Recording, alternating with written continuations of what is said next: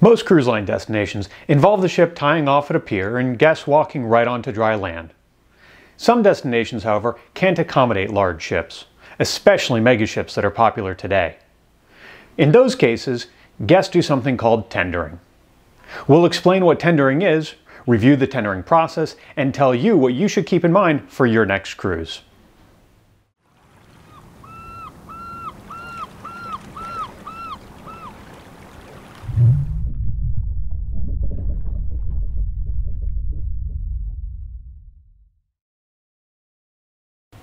For destinations unable to accommodate larger vessels, ships anchor offshore, usually less than a mile.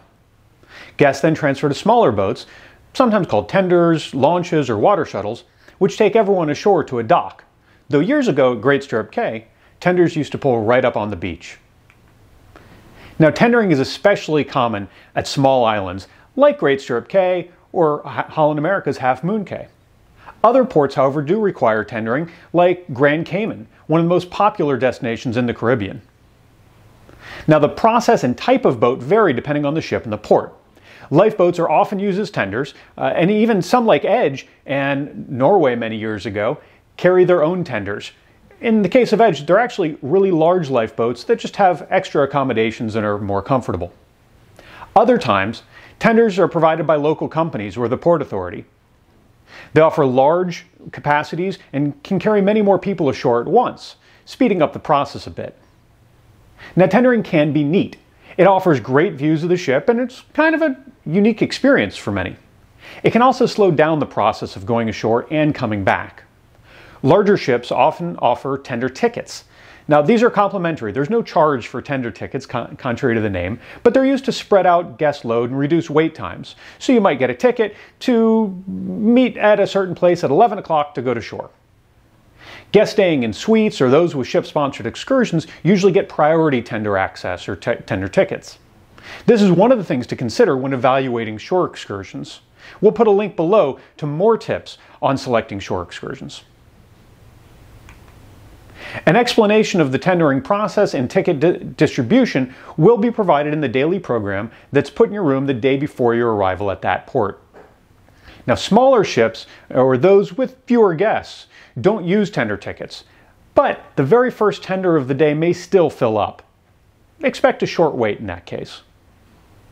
A common concern is that the process is hard, going from a ship that's pretty stable in the water to a smaller boat that's bobbing up and down can be difficult for some.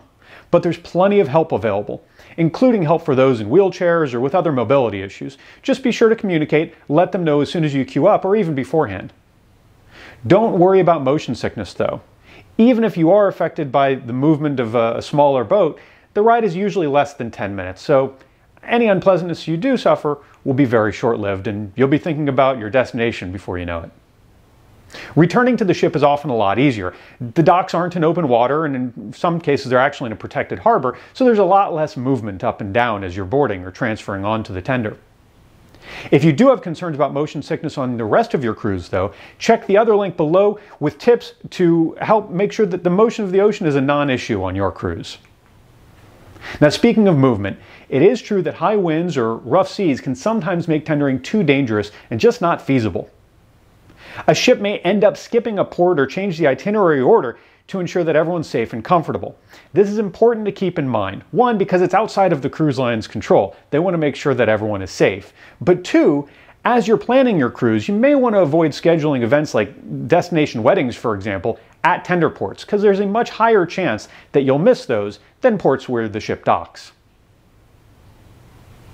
Thank you so much for watching. I hope tendering is a bit more clear now, and I hope you enjoyed the video. If you did, do me a favor, it would mean the world to me.